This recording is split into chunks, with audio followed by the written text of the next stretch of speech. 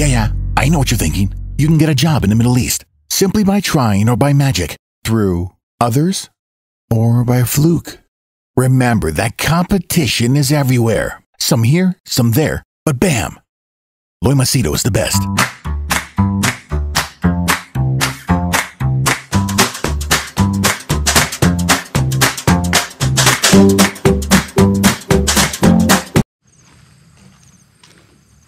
Okay, uh, after three Panadols, I think I'm feeling a little good. So make a video now. you know, my mother and uh, my stepfather had a very weird way of, I don't know, you can call it motivating or communicating to me that I needed to be better. So they would use very strange terms which today would be classified as child abuse. Like my mother used to tell me uh, stuff like, you know, you're a mistake, you shouldn't have been born. Just imagine a small boy, you know, 9, 10, or whatever, and your mother telling you, you're a mistake, you shouldn't have been born. And then stuff like, oh, you're not as smart as that boy, oh, he studies so much, look at you, how stupid you are, and oh, he's so intelligent, she's so good, and he's so obedient, and she's like this. And so everyone was basically better than me. And I think this only became worse when my stepbrother was born. No fault of his own, but my mother kind of literally glorified him. Literally glorified him and uh, looked down on me and uh, he was meant to be this great legend of the our clan basically is going to achieve the great. And whenever she would bring these people who read predictions palm and stars and all that obviously they can read the body language. So they would tell my mother oh this boy me. Oh he is his star signs are not good. The planetary charts and this and that and he'll be a a rebel, but your other son, he will be great. And my mother, oh, Jesus, oh, thank you, thank you. See the irony. Palm reading with Hindu priests and saying thank you to Jesus. so he'll be great, he'll be a multimillionaire, he'll be this. And if you donate this much to the poor and all that uh, means to him basically, uh, I will make sure that his stars are properly aligned. So my mother would look at uh, my stepbrother as the hope for the future. And me, you know, the curse. So, I lived through my entire life knowing that I was never good enough or I was ashamed to the family or I was dumb, I was not smart. And plus, on top of that, you have my teachers, Sharjah Indian School, filled with all my South Indian Kerala teachers. One or two or three were good, the rest were all jackasses. And they would beat, literally, there were some of them who would take a ruler and bloody beat your face. You know, some would take the rubber cane and whack you on your legs and uh, some of them would take pencil and put it in between your fingers and press hard and uh, you know stuff which is banned today but it was practiced those days because there was no protection or there was no social media you couldn't voice it out and plus my parents never supported me they would tell the teachers discipline this boy the way you like be very strict with him so they would make me stand out in the sun 50 degree heat imagine 45 50 degree heat they'd make me stand out in the sun hmm. yes i got hmm. ah yes Um, yeah. Uh, my wife there. You want to speak to my wife? Hi. Yeah. Yeah. yeah. You can. Uh, yeah, you know my house, no? Okay. okay. So it, it's so. Uh, yeah, there, uh, there, this way. Go there, house. Okay. Uh, I think they want to sell something. So what happened was. Um, where was I? Forgot. Okay, so these teachers would literally abuse me and make me stand out in the sun at 45 degrees heat, and uh, they didn't give a fuck. So imagine one period is one class section is 45 minutes, and the teachers would make me stand outside 45 minutes, and the next teacher would come, same because I was mischievous, put me out 45 minutes. Third teacher would come, put me out 45 minutes. Sometimes I would be out for five to six sessions, and they would not allow me to move. I would just stand there for 45 minutes. Ah, well, what to do? When I think about it today, I'm like, fuck, look at the abuse that I went through. Surprising I didn't go mental. So I went through a lot in my childhood. And then coming home, there was no communication. My parents would never talk to me. My stepfather would only come to beat me up. Uh, did you study? Did you learn? You didn't? Take a fucking Arab cane or take a fucking belt and beat the fuck out of me, man. Until I would literally bleed, you know. Blood would come out from my skin. And I would cry and sob and never wanted to talk to me. Just, okay, did you study? Did you not? You complete your homework? You know? Anyway, what the fuck. Locked up in my house uh, room. And then uh, who else? My uh, mother. They would be working two, three jobs. So basically, my childhood was fucked up. And uh, I grew up always seeking approval. I grew up always wanting to feel special. I grew up having this sense that I was never good enough. Okay, so this was my childhood. I'm not sharing this with you to feel sorry or do fucking old man. I'm in my 40s. I've crossed that stage of wanting to feel sorry and all that. Doesn't fucking matter. Luckily, I never got into a world of crime and drugs and alcohol and cigarettes and yes, I was a playboy and yes, I sought attention with all these gimmicks, tattoos and all that. Okay, so now came the the other part that was my wife. This is my, you know, fourth wife, and um, she told me that uh, uh, her husband, her husband who she loved, she loved this guy from her childhood. It was her first love, and he loved her more than life itself. Uh, no, she loved him more than life itself. It was her first love, and uh, he always, uh, she always, literally worshipped the ground on which he walked. Annie.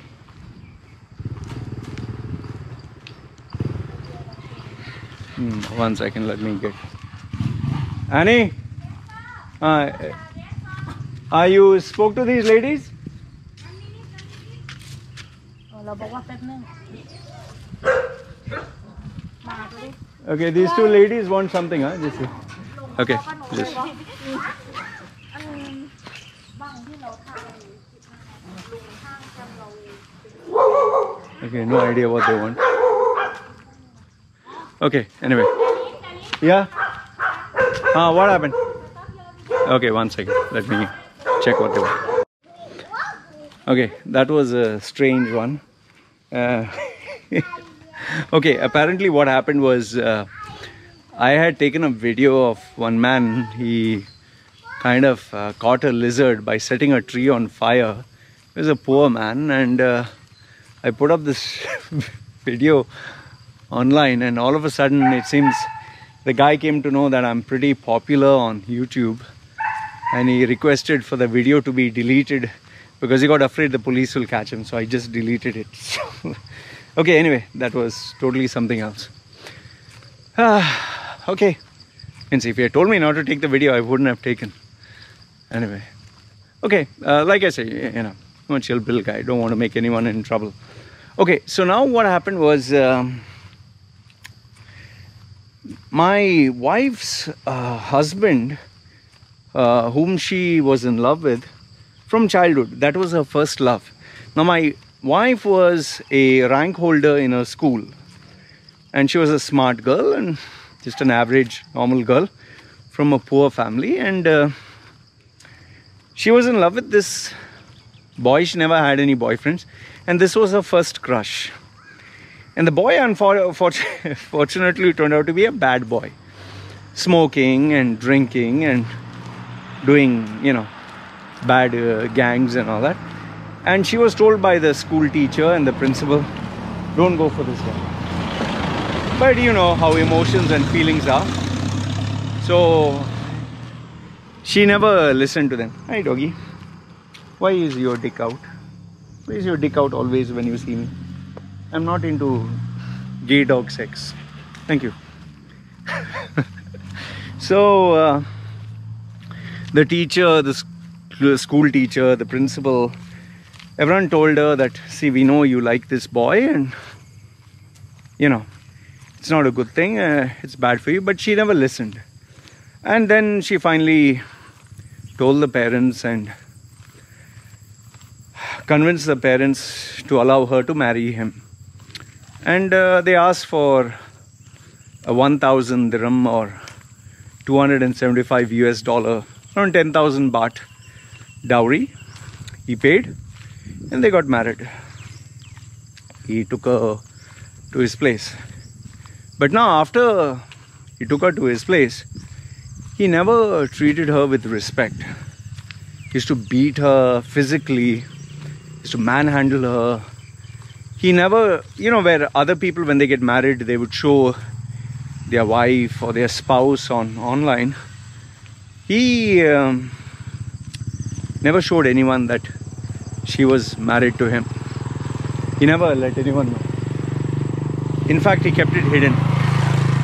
And uh, on top of that he he used to tell her don't walk close to me. You look ugly.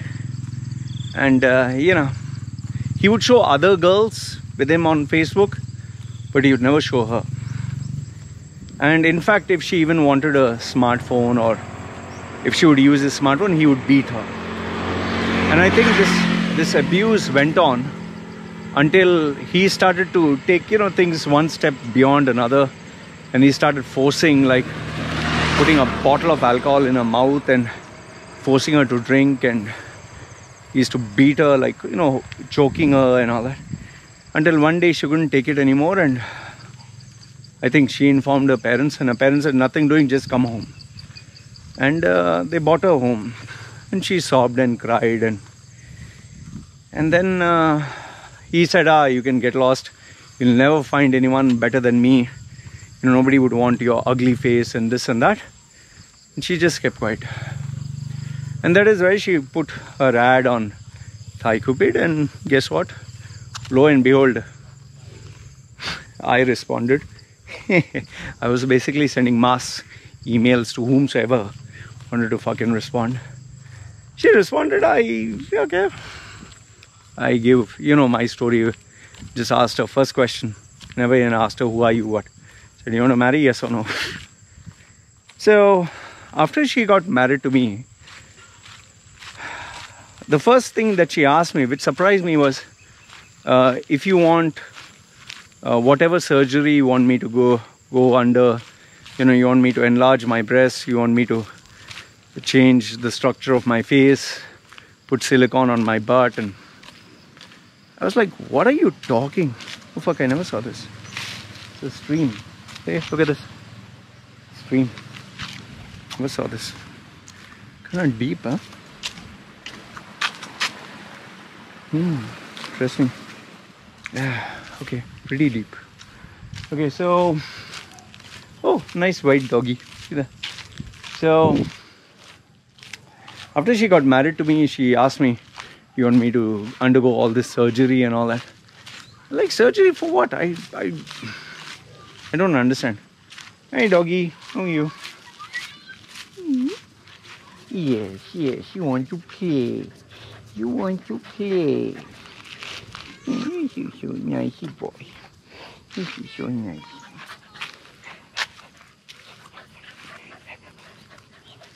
Nice doggy.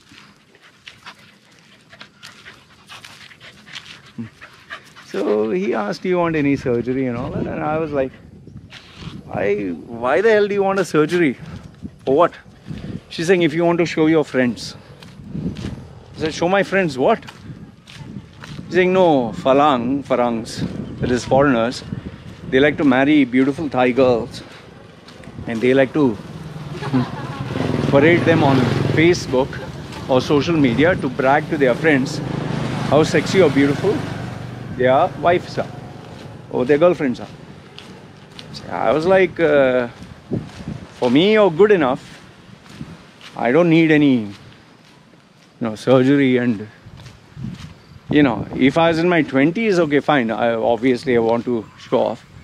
But I'm in my 40s. Today, I don't want you to start parading your body and boobs and butt and all the bees around. I don't need that. We're getting into a serious relationship, which our main focus and priority is career and family and work. That's it. So I, I don't give a damn about your looks and all that.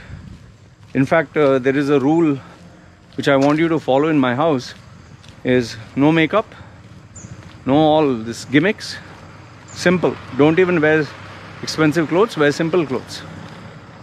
So my wife was pretty surprised and uh, she made sure that she didn't wear uh, any you know my wife basically buys second-hand clothes cheap stuff. Like you see my clothes also very simple.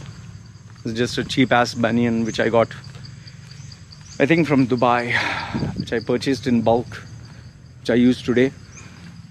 And uh, you know shorts and you can see these shorts are the slippers are pirated ones look like crocodile but uh, croc shoes but they are uh, i think 15 dirham or 2 or 3 dollars and these are regular shorts so nothing great so i wear simple clothes she wears simple clothes we dress up simple she doesn't put makeup and whatever we save we save and keep it in the house okay so so the thing is, we always make sure that uh, we save money. I watch one second. Let me. Me. Always like to check my steps. this is a new Garmin watch. I'll put a video and share it with you later. So basically, it's like. Uh, I have made sure that my wife doesn't need to impress anyone.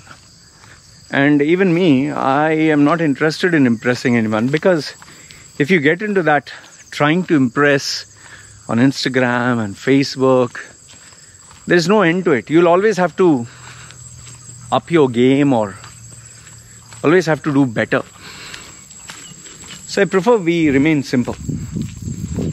Like yes, we do show some moments where we are very happy, but overall, normal life. I don't want any followers following me because they get impressed with big cars or big uh, toys or house or some girls like to show their big titties and their ass and oh, okay fine. They are capitalizing on the assets they have and they have a following for it. There is like for example, there's one Brazilian girl who only shows bum shots, shots of her butt, different angles every single day, different outfits, and I think she has a million followers or more than that. And almost every comment is oozing with, oh, I love this, that, and and there are girls who show their cleavage and and talk spirituality and like there is this girl who shows, you know, literally her boobs can be seen, like just a nipple is covered. And she's saying, you know, believe in yourself and, you know, I love. And there was this female who got, uh, I think, into trouble in Goa because she put, uh, she did a nude, semi nude kind of, no, total nude, but she covered her private parts in Goa where she, huh? Huh, Brownie? Leave Brownie, let Brownie go, he'll come back. Brownie will not come, now Brownie will run. It's okay, just leave Brownie. he'll go. So my dog managed to break the chain off. Okay, so now uh, what happened is uh, after we finish, uh, we can go. Huh? No, I follow you. Oh, okay. So, yeah, so what I was saying was uh, there are people who get followers for good looks and big houses and all that. Good for them. I have nothing against them. I'm not saying that they are bad or they are less smarter or I'm superior or I'm great. No. Each one has their own branding strategy. I prefer being myself. This is who I am, this is what I do. You like it, take it. You don't like it, bye bye. Okay? I keep it real. I'm not going to put on a fucking act and be who I'm not. So, what was the point and purpose of sharing all this? See, what I want to tell you is you can spend your whole fucking life trying to impress people, trying to be who you're not, trying to. Uh, there are some people who are not going to accept you for who you are, and there are some people who are going to ask you to be something else. You can either do your best to try to fit into that bracket, that's community or that society or those individuals, or you can literally get out of it and search to find either where you belong, or if you can't find that, just be by yourself. For me, to be honest with you, I couldn't find anywhere where I belonged. I just couldn't find. So that is why I came here to Samui to live a quiet, simple life, you know, with nobody to bother me and and I searched for a partner who would accept me for who I was. You know? You take out the chain? Uh, After actually you come back, okay. then how make you feel? Hmm. So anyway, we go there and then I just go house with you. okay. My dog chases the chicken always. So all I want to tell you is, look, in my case, I couldn't find uh, any place to fit in, friends, communities, nothing. I was just an odd ball out. So what I did is I stopped searching and I decided to be in my own world. You know, I did find some success as a coach, but to find those friends was very hard. I did find a few, but then again, I guess I couldn't continue in Dubai, so I moved here to Samui. So once here, I didn't have anyone, so I just searched for a life partner. And luckily for me, I found someone who shared my kind of views and lifestyle and the person that I was. And today I built my small little world with her. And now we have a baby, and trust me, it's more than enough. So, what I'm trying to tell you is if you are the same, where you're the odd ball out, you can't fit in, or society doesn't accept you, or you feel you're too weird, or people feel you're weird, or don't force yourself. Don't force yourself to be who you're not.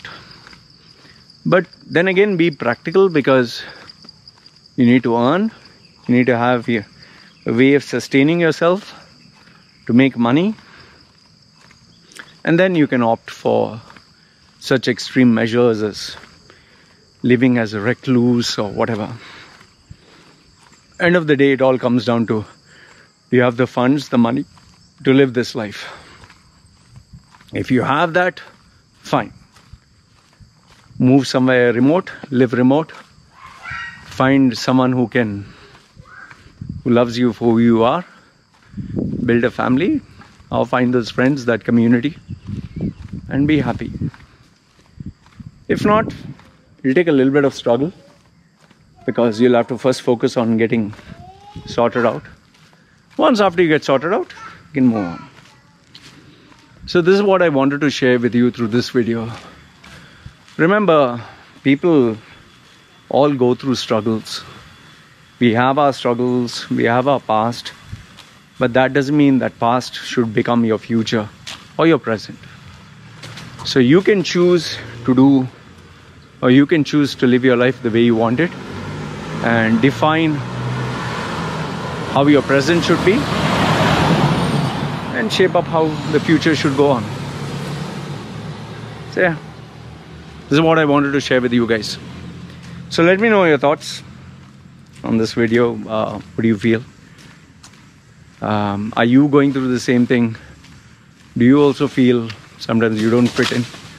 Oh, what's this? There's a hen up this tree. Hmm. Okay. So, do you feel you, you don't fit in?